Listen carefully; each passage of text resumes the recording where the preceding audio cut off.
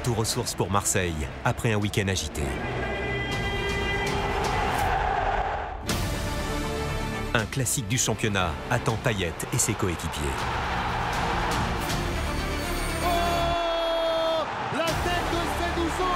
Après avoir accroché le champion lillois, Saint-Etienne rêve d'un exploit au Vélodrome. Marseille-Saint-Etienne, samedi à 21h, sans oublier l'île Montpellier, dimanche à 17h en direct, seulement sur Canal Plus Sport.